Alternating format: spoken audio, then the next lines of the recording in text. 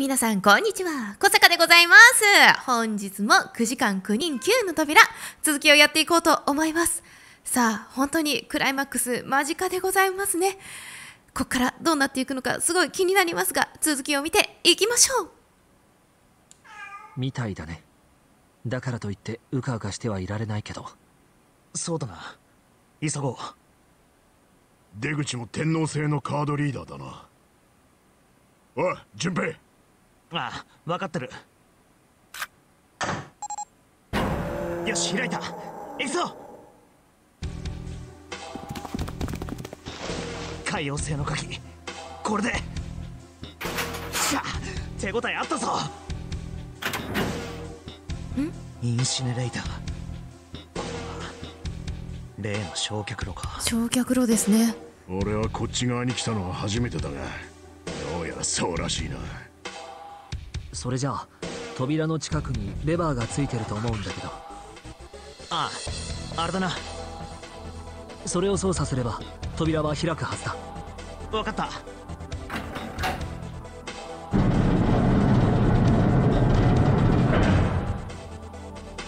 行くぞ。何があるんでしょうかね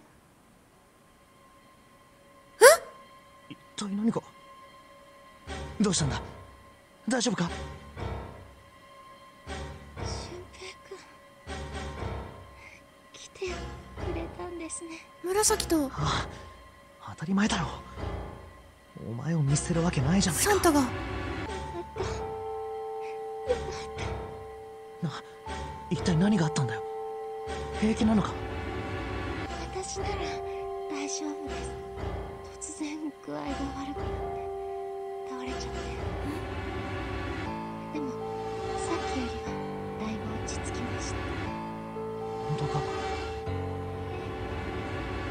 少し休んだらきっと良くなるとそれよりも。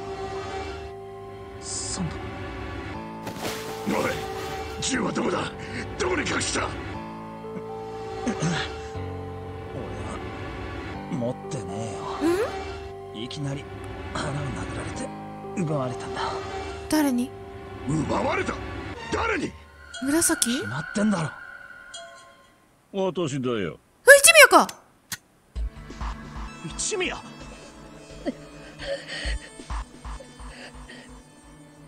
一体何の真似だ？一宮いやクレイドル製薬 CEO 本郷健太郎そうかとこっちではまだ本性を表していないんだった。気に入らんな。君は私のことを知っているようだが私は君のことを知らない。そういう状況に私がどれだけ苦しめられてきたか君にわかるかね？総合失認症の苦しみか。はあもう一人現れたか私を苛立たせる男が。なぜ知っている？私が総合失認症だと。バラしちゃった。まあいい答えたくないならそれでも構わない。時間の無駄だ。私は行かせてもらうことにするよ。まずは1ほら手を出せ。社と8もう一つ番ぐらいあればいいのか。9鳥の巣頭の男。そうだよね。久保田がはめていたバングルか。このゲーム私の勝ちだな。君たちと遊べて楽しかったよ。ゼロに感謝しなければなるまいこの言い方一宮はゼロの正体についてまだ気づいてないのか？一体何を企んでる？サン。タとにかくこれで何もかも終わりだ。私はこのゲームをクリアし君たちはバッドエンドを迎える。がせいぜい残された時間を楽しんでくれたまえ。それじゃあな。待て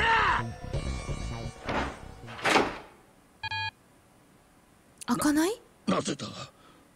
なぜ開かない？もう一度だ。これでどうだ？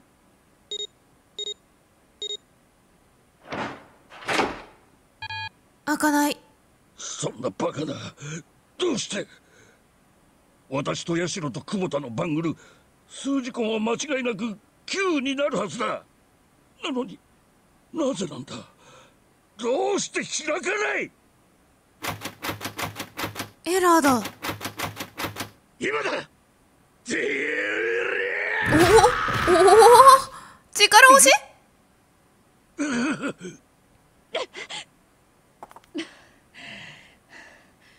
助かったわセブンありがとうなに礼には及ばんよこいつには殴っても殴っても殴り足りないぐらいの恨みがあるんだな。9年前のことを思えばズタズタに引き裂いてやりてえぐらいだ。とはいえ容疑者の口が聞けなくなっちまっちゃ意味がねえ。この続きは留置所にぶち込んでからたっぷりさせてもらうことにするぜ。9年前？するとお前はあの時の。やっと思い出したかさっきまで忘れてたのに。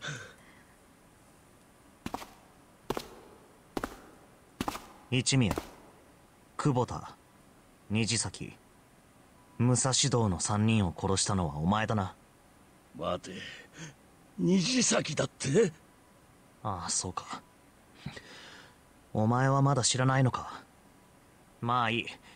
時系列にのっとって順番に説明していくことにし優しい説明のお時間。まずは久保田についてだ。お前は久保田を言葉巧みに誘導し5の扉の先に一人で入るよう仕向けた。そして難なく自分の手を汚さずに殺害に成功した。動機は4つだ。1このノナリーゲームにおいて9番の存在は他の者たちにとって脅威以外の何者でもない。9番はいかなる組み合わせのチームとも組むことができるからな。どんな数字に9を足しても最初の数字根は変わらない。つまり9番はオールマイティな存在だってことだ。そこでお前はいずれ脅威となるであろう9番の存在を序盤の段階で排除しておくことにしたんだ。2同時にお前はそのオールマイティーな存在である9番のバングルを手に入れることによってこのゲームを有利に展開しようと企んだ。そうして手に入れた9番のバングルは虹崎殺害時に実際に利用されることになったってわけだ。3さらに番号云々を抜きにしてもお前にとって久保田の存在は邪魔だった。久保田はお前の過去を9年前に犯した過ちを知っていたからだ。そのことを他の者たちに告げられる前に早めに抹殺しておく必要があった。4最後の動機はテストのため。このノナリーゲームが本気なのか単なる悪ふざけなのか。お前はそれを確かめたいと思った。そこで久保田がルール違反を犯すように仕向けその結果を見ることにした。以上が久保田殺害の動機になる。次は虹崎についてだ。みんなで手分けして抜き取られたレッドの基盤を捜索していた時お前は大病室で虹崎に会った。しかし総合失認症を患っているお前はそいつが虹崎だとは気づかなかった。彼はその時ニルスの服を着ていた。だからお前は虹崎のことをニルスだと勘違いしてしまったんだ。そそんなあいつが虹崎だって。なぜだ？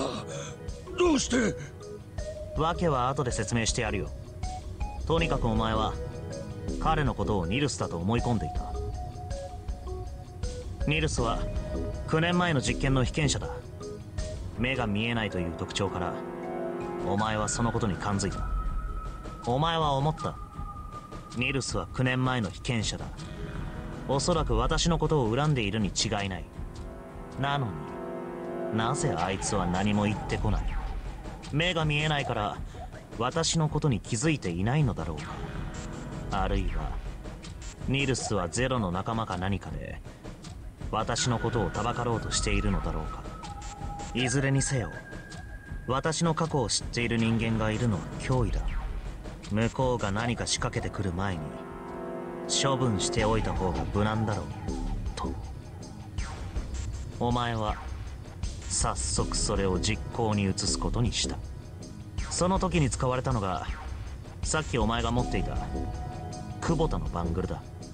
お前はそれをレッドにかざし続けて自分自身の認証を済ませてから最後に虹先の腕を掴んで強引にスキャナーパネルに押し当てた。そして開け放たれた3の扉の奥へと虹先を蹴り込んだんだ。その9秒後扉は自動的に閉鎖。さらに81秒が経って虹先は哀れ。帰らぬ人となったというわけだ。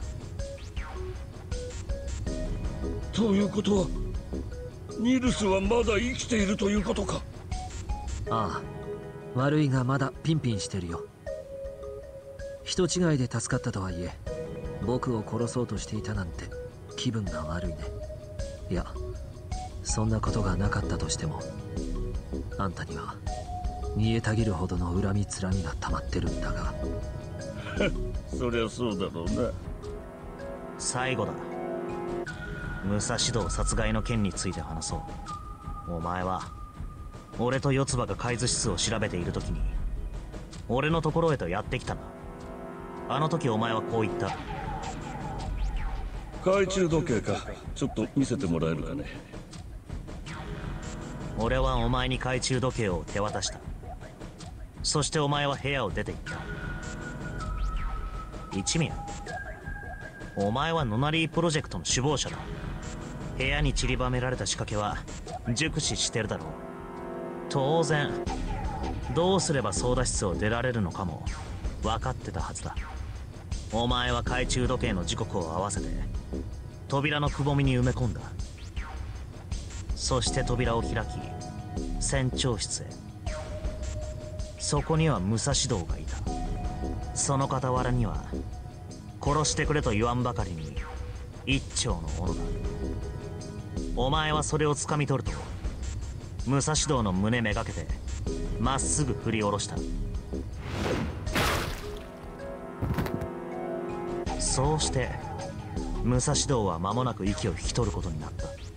その後お前は何食わぬ顔をして再び海図室に戻ってきた。いやちょっと淳平君に話があってね。来てもらえるかい？俺はお前に誘い出される形で操舵室に向かった。部屋に入るとお前はいきなり俺のベストのポケットに手を突っ込んできたよな。取り出して見せたものは一枚の紙切れ。俺が投票の時の小細工に使ったものだ。だがお前の本当の狙いはそんなものじゃなかった。お前は紙切れを取り出すふりをしてこっそりと俺のポケットに懐中時計を忍ばせたんだ。うん？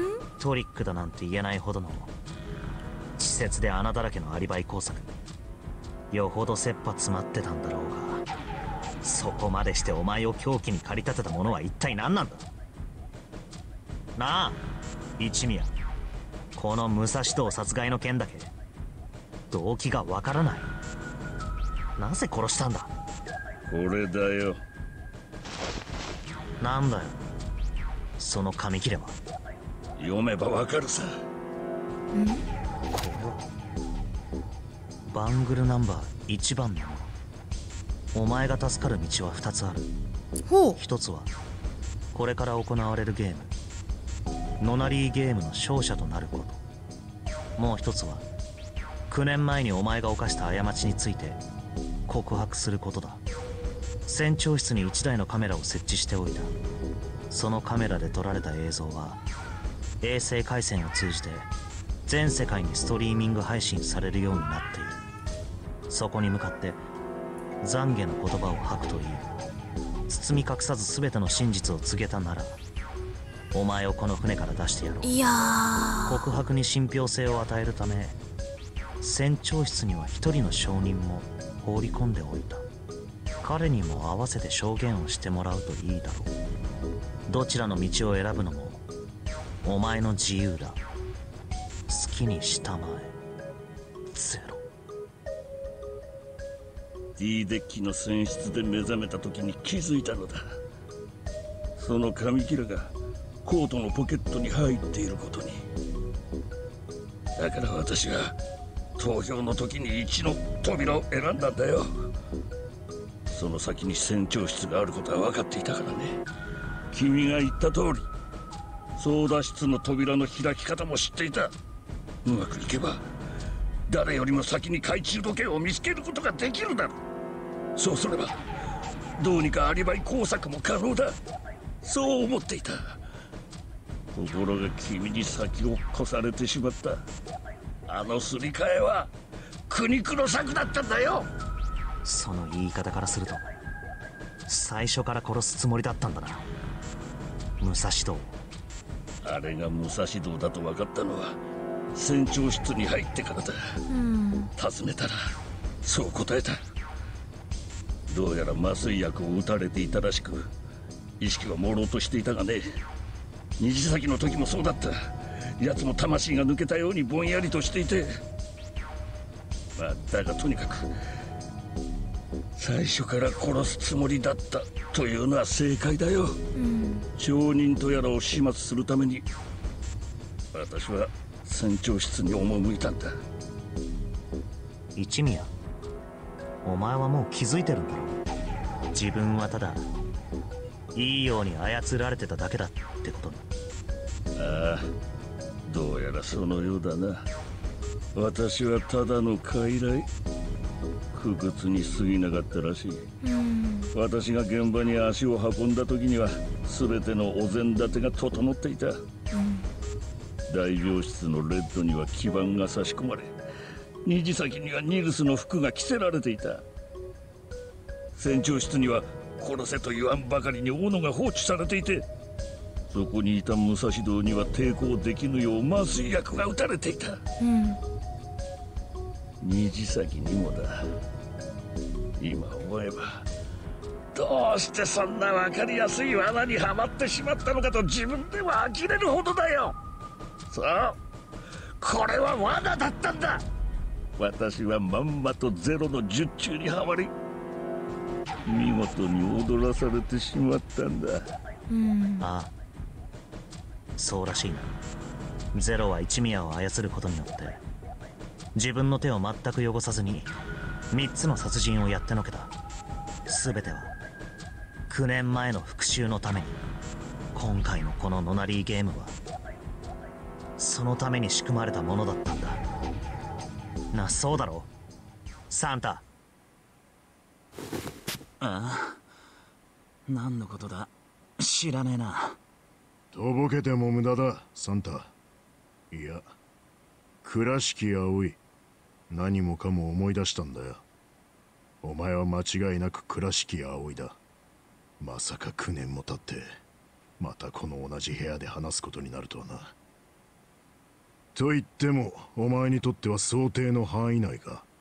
何しろ今回のノナリーゲームを画策したのはゼロ。お前自身なんだからな。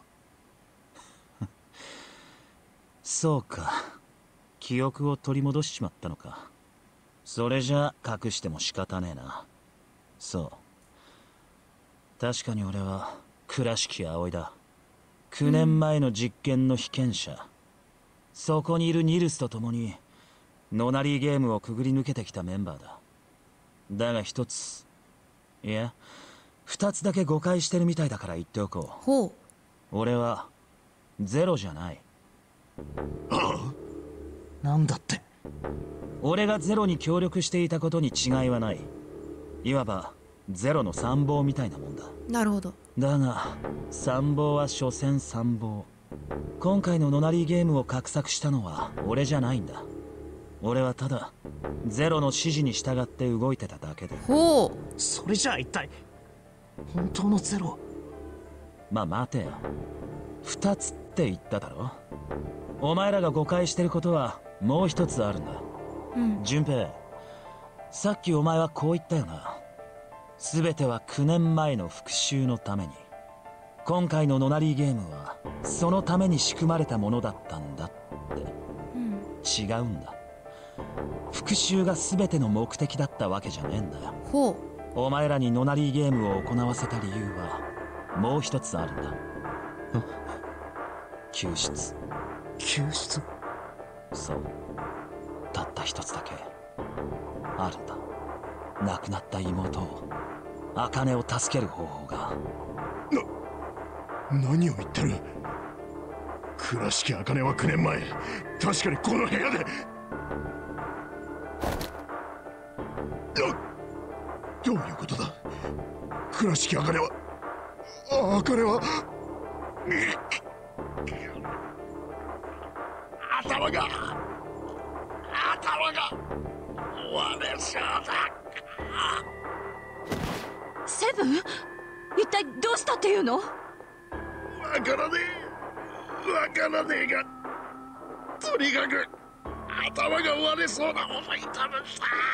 どうしたんだろう？ノナリープロジェクトとは何だったのか。知ってるとは思うがもう一度だけ言っておこう、うんそれはある現象を証明するための実験計画だった。その現象とは何か。Q と A が物理的な接点を持たずにコンタクトを取ること。携帯形成場仮説。人間には認知し得ないフィールドを介し Q と A が情報の交換を行うことは可能かどうか。うんそれを確かめるための実験計画だったんだ。具体的にはギガントとネバダの模擬実験棟9棟の2カ所でそれは行われた。9棟はギガントの構造を完璧に模した施設でそこに閉じ込められた9人は建物の中に散りばめられた数々の謎を解きその解放を形成場に書き込むことによってギガントにいる9人の兄弟に伝えるよう求められた。うん。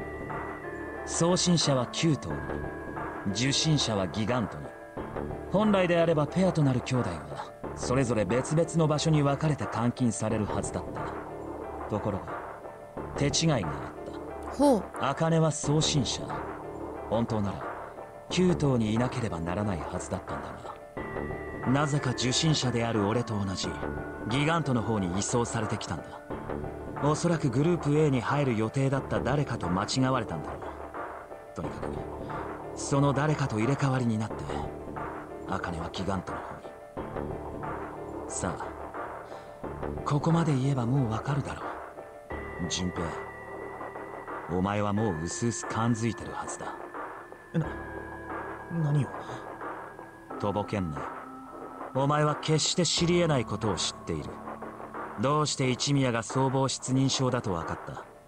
なぜ一宮が久保田を殺害した動機や虹崎の殺害方法について知っていた？一宮が本郷だと分かった時お前は驚いたか？それからニルスを閉じ込めておいたあの棺。お前は一体どうやってあの棺を開けたんだ？それはそれは。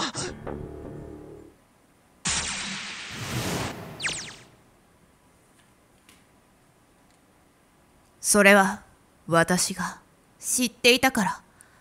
順平は形成場を介して私を送った私の送った情報を受け取っていたのだ。だから知っていたのだ。ただそれだけのことだ。ではどうして私は異なる歴史のことを知っていたのか。今ここに二股に分かれた川があるとする。人の字を考えてもらうと分かりやすいだろう。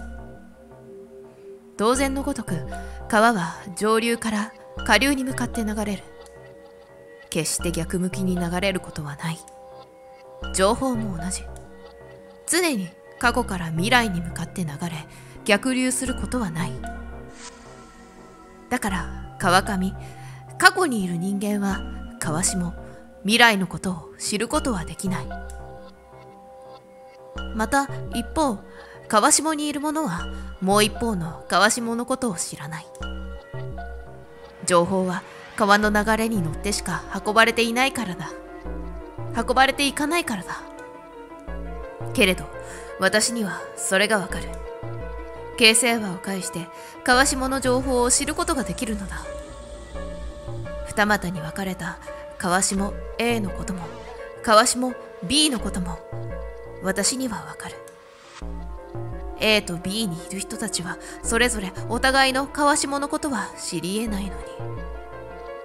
さてところで私とは一体誰なのだろう？私は私。英語で言うと I 9番目のアルファベット。であると同時に私はゼロでもある。いや正確に言うと今の私はまだゼロではないのでゼロ未満ということになるだろうか。私は未来のゼロ。今から9年後。私はゼロになるのだ。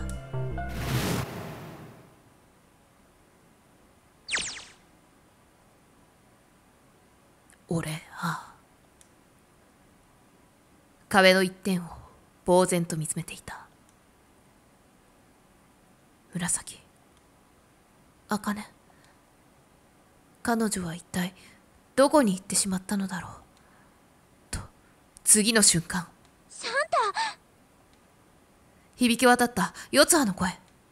振り返るとそこには。動くな。リボルバーを手にしたサンタの姿があった。どうやら目を離していた隙にレッドの下から抜き取ったらしいその銃口は今一宮の頭にピタリと添えられている。立てサンタは一宮の襟首をつかむと強引に彼を起き上がらせた。一宮の顎のあたりに銃口を突きつけたままじりじりと下がっていく。もはや気力をなくしてしまったのか。一宮は抵抗する素振りすらえもさえも見せない。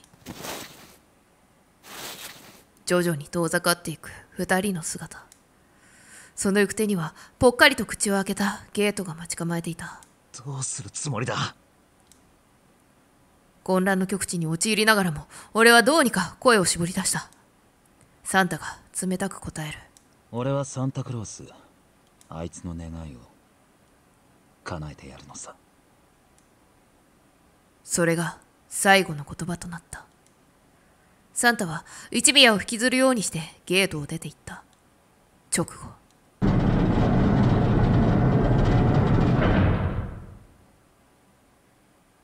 扉が閉まった。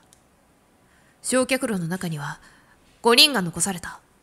ニルスヨツハセブンヤシロそれから俺の5人だ。痛みが引いたのかセブンは頭を振りながらゆっくりと立ち上がった。その姿を横目に見ながら俺は扉に向かって飛びかかっていった。無駄だとは思いながらも圧力をかけてみる。ダメだ。やっぱり開かない。閉じ込められたってこと？みたいだね。サンタの野郎一体何を企んでやがるんだ？まさか。まさかなんだよ？この状況から考えてこれからサンタが行うことは一つしかないだろう。ちょっとやめてよ。冗談でしょ？俺はくるりと振り返り走り出した。9の扉へと向かう。他の4人もバタバタと後を追ってきた。扉の左手にはレッドが取り付けられている。俺はそこに向かって手を伸ばししかしその手をすっと下ろした。ダメだ。ダメなんだ。ここにいる5人じゃ9の扉は開けない。2たす4たす5たす7たす8は26。2たす6は8。じゃあ、一体どの組み合わせなら？すると、不意に四葉が言った。順平手帳とペン貸してもらえる？俺はそれらを手渡した。四葉はペンを握りしめて手帳を開くと、そこに素早く足し算の式を書き始めた。やがてその手が止まる。刹那、四葉の表情がにわかに曇った。かと思うと、彼女は突然、そのページを破ってくしゃくしゃに丸めてしまった。おい何やってんだよつは貸せ！セブンは強引にそれを奪い取った。破られたページを広げるセブン。俺も脇からそれを覗き込んだ。そこにはこう書かれていた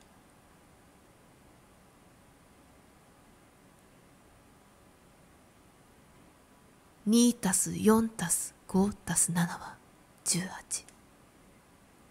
そんなこれ以外の組み合わせはねえっていうのか。俺とセブンは社の方を向いた。彼女はすでに察していたらしくふっと悲しげな笑みを浮かべてみせた。いいわよ。行きなさい。社そんなことできるわけねえだろあら意外ね。厄介払いができてせいせいするんじゃないの？バカ野郎！セブンはいきなり怒鳴りつけた。驚いて身をすくめる社。お前がいないと。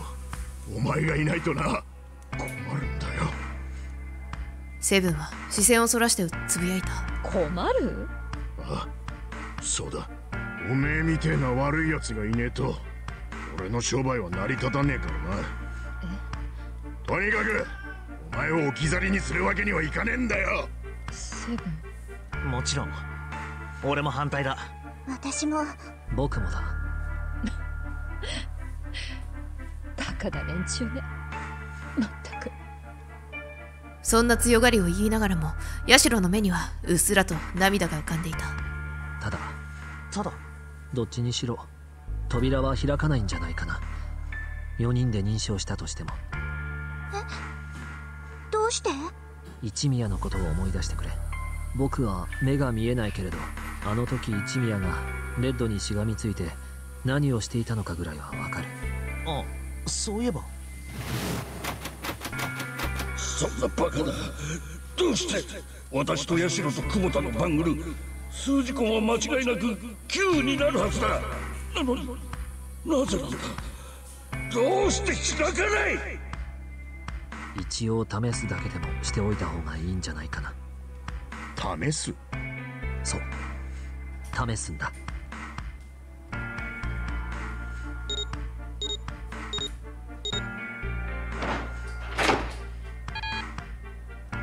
2たす4たす5たす7は181たす8は9本当だ。開かねえな9年前には確かに開いたはずなんだけどね。数字痕が9になれば。何か設定が変えられてるってことか。かもしれないね。もはやどうすることもできなかった。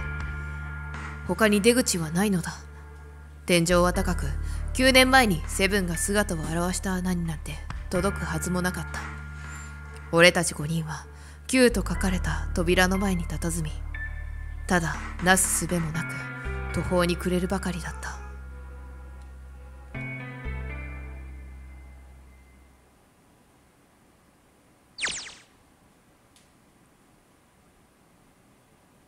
さてここから茜のビジョンが見れるようでございます。だいぶ真相の話がね出てきましたがここから続きは次回にしようと思います。ここまでご視聴いただき本当にありがとうございました。ちょっとでも楽しめたよって方はグッドボタンチャンネル登録よろしくお願いいたします。ではではまた次の9時間9人9の扉あるいは他のゲームでお会いいたしましょう。また次も小坂と遊ぼう。今回の動画いかがだったでしょうか？もしちょっとでも楽しめたよっていう方は高評価チャンネル登録よろしくお願いいたします。ではまた次の動画でお会いいたしましょう。また次も小坂と遊ぼう。またね。